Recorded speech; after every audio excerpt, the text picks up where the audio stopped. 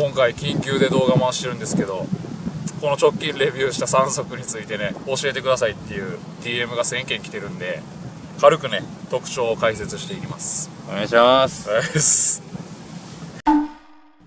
インスタのストーリーのアンケートねめっちゃ投票していただいて嬉しかったんですけど結果こんな感じになってて今回の3つどれもめっちゃクオリティ高かってまあ大前提としていつも言ってる通り好き嫌いみんなあると思うんですけどレビュー通して僕が感じたことをねご紹介してます。今回のフューチャーはめっちゃ軽くて、まあ、特徴はやっぱ幅が広い。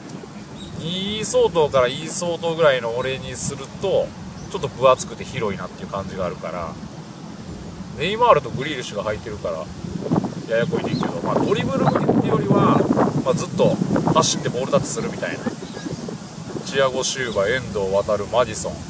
チアゴシューバー履いてんの履いてる履いてるそういう選手向けなんかなと。履き心地はめっちゃいい。でこのグリップもめっちゃ効く。だからボールタッチはめっちゃやりやすい。なんか効きそうやけど滑りそうでも遠目から見たらいや全然滑らん。めっちゃグリップ効くから。タッチはおすすめ。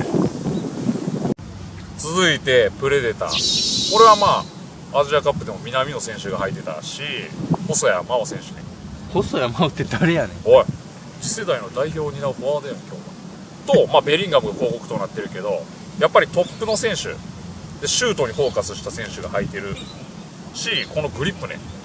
いつも通りカーブめっちゃかけやすい。のでトップの選手向けなんかなっていう風に思うよな。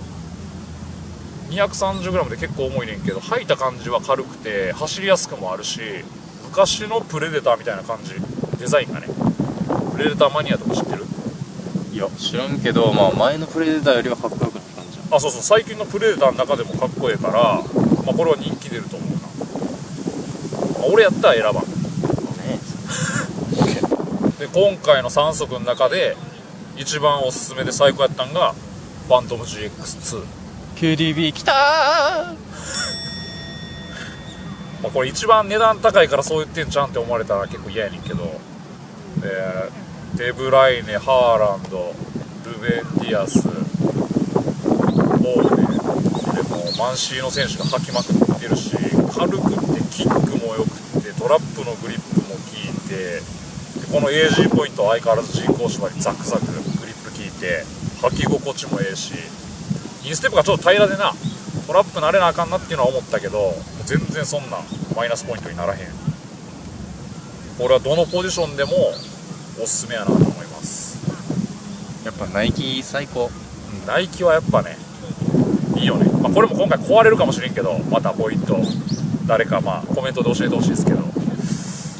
でもやっぱ高いだけある高性能してると思う。